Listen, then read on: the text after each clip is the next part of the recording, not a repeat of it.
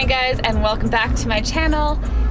It's been a busy morning. We moved out of yet another accommodation but only Adam was here to help me so a six hour job was only what an hour and a half. Oh, yeah, it went pretty quick. It went really fast. So we're actually flying out of Phoenix in the morning at 6 a.m. So we're taking majority of our stuff to a U-Haul storage unit. Ugh.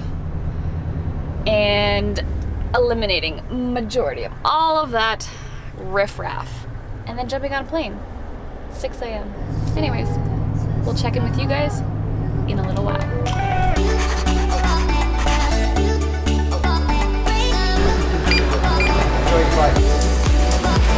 Welcome to United. way to Mexico It's nice and warm. two are blue bright blue. bright blue Okay. All four luggage bags did not make it no luggage so we're gonna be on day number two and a half in this outfit so we just got back from doing a quick grocery shop anytime there's a race or an event in south america i know we're in mexico we're not in south america the team or like majority of the teams usually get I don't know, some kind of stomach bug or flu, or they always get sick and they claim it to be the food. So we took precautions. We bought, we're gonna be living off canned tuna, seven cans of tuna, canned carrots, got some canned beans. We did get greens, still need greens. Some salted meat, can't get sick from salted meat. So I just opened this can up. I thought it was like sweet beans. You know those like beans you used to, your mom would give you when you were little? And they were like soaked in sugar? I thought that's what these were. Mm-mm. You guys tell me what they are. They're spicy. What you are about to see might make your skin crawl. I know if I was watching this, mine definitely would. But the trick to what I'm about to do is using an old coffee filter in your drain. So the idea is to catch all of the dirt so you don't have to call a plumber. Don't do that to a hotel. Don't do that to anyone's plumbing. But this is reality.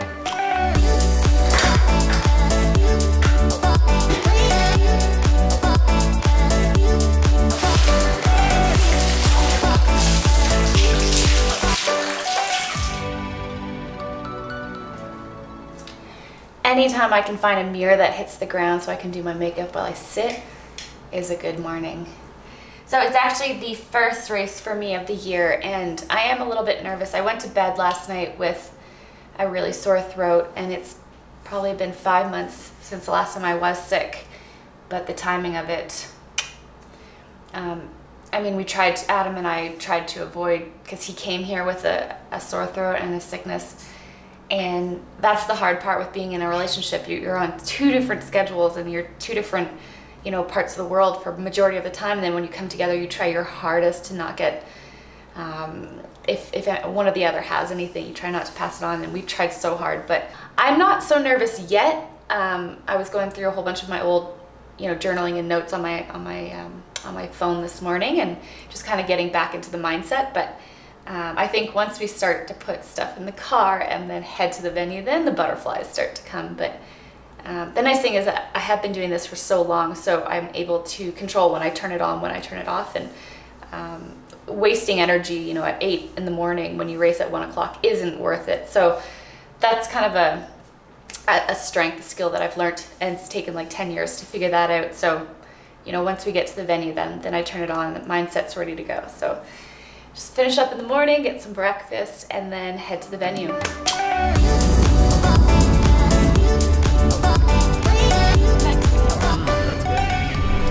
So I am now at the event. I am pretty much ready to go. I just have to put some ice in my pantyhose because it is hot outside.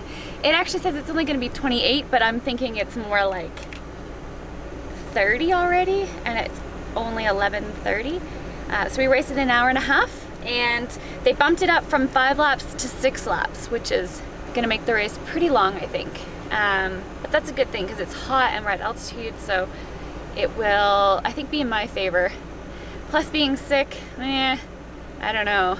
I should get going and yeah, pantyhose, ice, it's the trick to staying cold out there or keeping your cool core. Your core cool. There we go. Okay, ciao guys.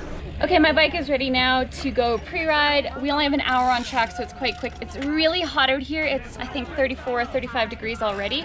Um, it's really dusty and bumpy, so I'm gonna go try to make the most of my time. Hey, Kate!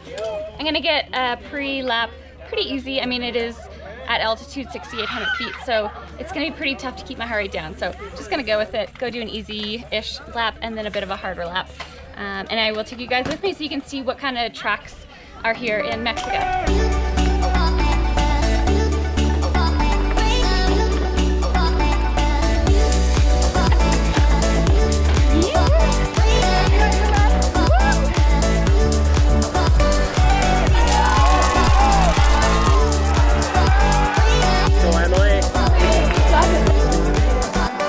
My throat feels like I have like a like a cattail stuck in it.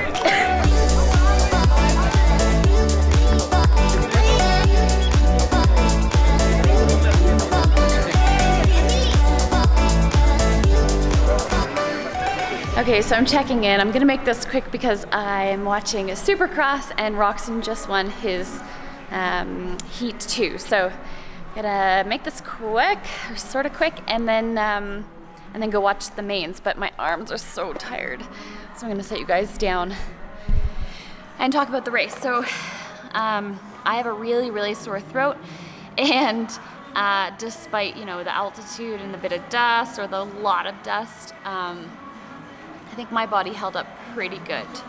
Um, so I did get sick last night. I felt it coming in, and then this morning it was like full dragon, and now it's like purple throat, um, which is very, very painful, even to swallow. So, um, you know, I, I, I, did make a mistake on the start. I did uh, miss my pedal, and I have, you know, switched to Crank Brothers, and um, I guess just haven't got enough time or, or, or fully adapted to the pedal, and um, so I didn't mess that up. And in the first 200, well, 200 meters after the start, it was pretty much down to single track all the way up, you know, almost a full lap. Um, so I, I, lost a lot of time there and um, just spent majority of the race trying to catch up and, and pass people. And um, I mean, I'm happy with sixth place only because it's such, you know, UCI depth, like there's so many points. Um, so I think I got 90 points, which moves me up from eighth in the UCI overall to fifth, I believe. Um, and then tomorrow we get to do it all over again. I'm, I'm not looking forward to um, seeing how sore my throat's going to be in the morning, but um, Adam's, you know, his went from his throat to a really bad head cold and sinus cold, and um, I do have like heavy ear, like my kind of ears kind of feel a little bit wonky, so hopefully it doesn't get too bad. And then we have sea otter in a few days, so. Um, yeah, I mean, sixth place wasn't the end of the world. the rough, you know, the rough track was like, oh, oh it hurts so bad. The worst is sneezing. That like makes me cringe because it hurts so bad. Um, but yeah, the, the downhills were like as hard as the climbs because they're this lava rock or whatever this rock is here, and it's they're spaced. It's solid rock, but it's just like a jarring aggressive descent. So you get to the bottom of the lap and you're just as like fatigued as you were just climbing the whole lap. It was about 150 meters, which actually wasn't, it felt like a lot more climbing. I'm going to zip back up to our room. I have a lot of work to do and I still want to catch the main in Supercross tonight. Go Roczen, I'm rooting for him. I'm such a Roczen fan. So thanks for tuning in today and um, yeah, I'll catch you guys up all day tomorrow. Thanks. Oh. Oh.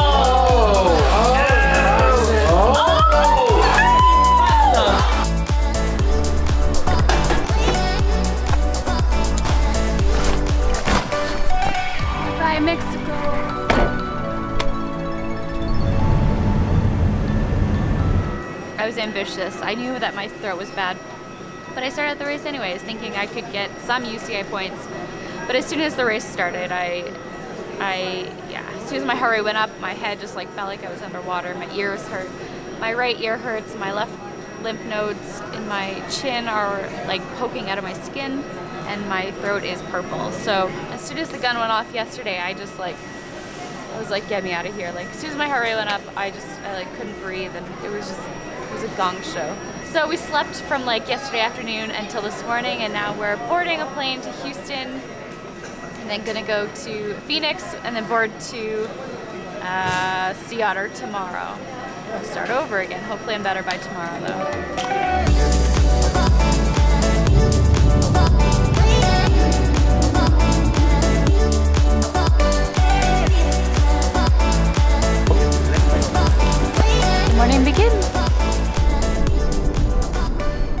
And just like that, we are back in Phoenix already. That week flew for us. I am yet again tired. It is 10:30 p.m., not 4:30 a.m. at least. But if you guys liked this, give it a thumbs up. It really helps my channel and subscribe. I'm not sure if I'm going to be posting videos on Tuesdays or Thursdays. Let me know what you guys think. And definitely one a week. But yeah, thanks for watching and I will see you in my next video. Ciao.